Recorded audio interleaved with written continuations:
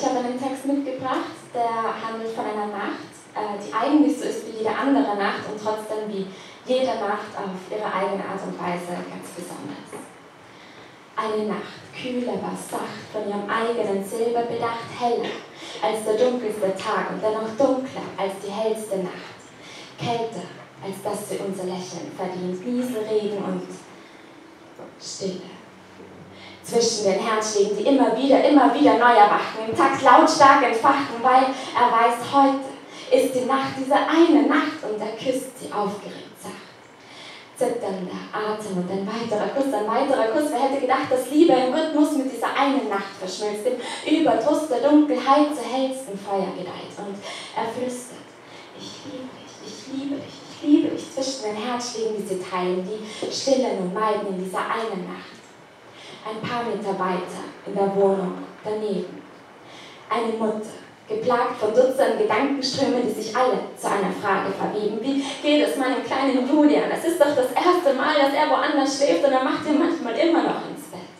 Ob die anderen Kinder wohl endlich aufgehört haben, ihn zu schikanieren, vielleicht war die Klassenfahrt ja doch keine so gute Idee. Aber wenn ich ihn jetzt anrufe, würde sich vermutlich bloß genieren und einige Kilometer entfernt wälzt sich Julian im Stockbett des sechste Burschenzimmers im nassen Laken hin und her.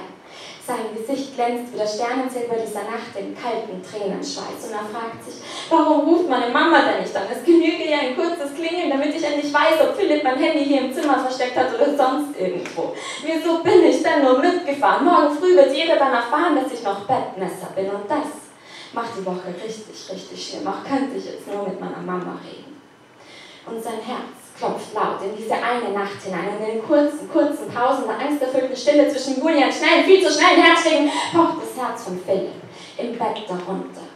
Obwohl er schläft, klopft es, als wäre er munter und trenne und trenne und trenne, als erkenne, erkenne, erkenne er gar nicht den Unterschied zwischen Traum und Realität. Denn er, äh, denn er träumt denselben Traum wie immer. Und dieser Traum wirkt gar nicht schlimmer als seine tatsächliche Realität. Seine Realität, der schlimmste Traum.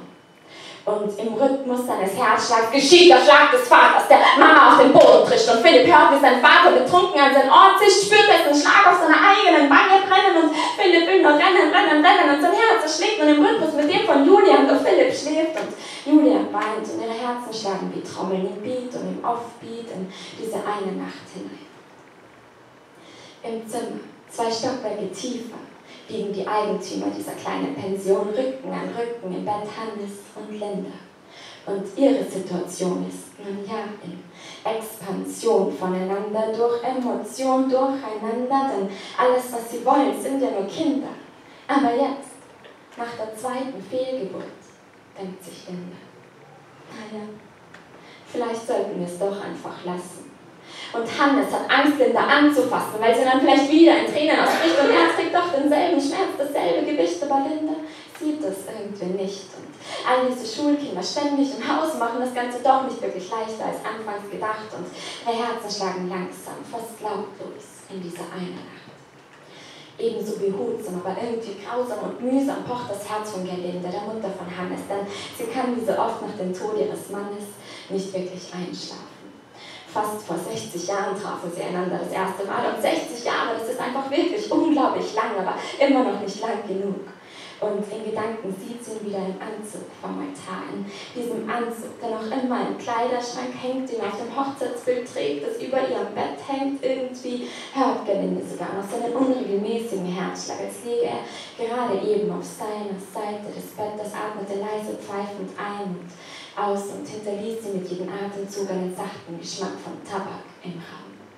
Und Gelinde fragt sich, wie lange, wie lange, wie lange noch, bis ich wieder bei ihm bin. Und als die Sirene eines Rettungswagens in der Ferne aufheult, rinnt ihr wirklich eine Träne hinunter, weil sie an jene schicksalshafte Nacht erinnert wird, in der ihr Hubert genommen wurde.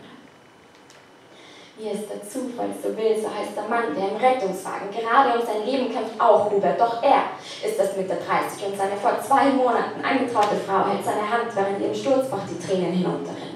Bitte, lieber Gott, betet sie das erste Mal seit Jahren, bitte lass ihn den Kampf ums Überleben gewinnen, bitte lass ihn einfach leben, einfach leben, einfach leben und ihre Lippen, sie beben, ihre Augen, sie tränen, ihr Herz. Schlägt so laut, schlägt so laut und immer lauter, immer lauter, versucht mit zwei zu schlagen, schlägt doch für ihn. Und es schlägt zu laut, zu laut, weil sie befürchtet, weil sie ahnt, dass seines gerade aufhört zu schlagen in dieser einen Nacht.